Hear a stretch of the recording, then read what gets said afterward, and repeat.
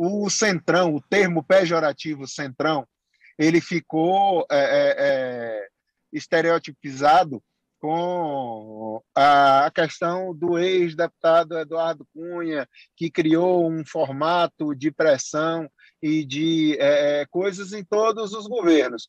Mas o centro, em qualquer democracia do mundo, ele é o equilíbrio de qualquer governo. Então, é de centro quem pensa, por exemplo, que houveram coisas boas no governo do ex-presidente Lula e também coisas boas no governo do presidente Bolsonaro. O centro, ele é o equilíbrio do governo e dos governos. As pessoas muitas vezes colocam, ah, o centrão, o centro, é, é, ele participa de todos os governos, e está aí a resposta, onde o presidente Bolsonaro, para governar, acabou é, é se aproximando é, dos partidos de centro, porque o centro representa o equilíbrio é, é, das coisas boas que são do Brasil. A gente não vota tudo automaticamente é, é, como se é, tivesse uma obrigação de ser de governo. A gente vota as pautas boas é, que são importantes para o Brasil e que concordam e que fazem parte do que a gente pensa no que é bom para o nosso partido.